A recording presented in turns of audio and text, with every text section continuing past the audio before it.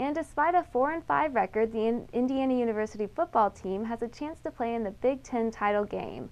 A chance helped greatly, WTIU's Alyssa Extin reports, if the Hoosiers topple Wisconsin tomorrow.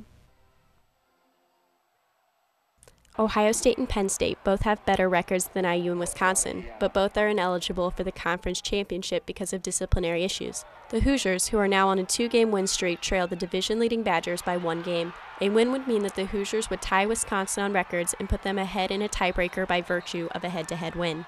Wisconsin lost starting quarterback Joel Stave in a game against Michigan State two weeks ago, so the Hoosiers have prepared for the running game of star running back Montee Ball. Head coach Kevin Wilson says his team will also have to pay attention to how it runs the ball.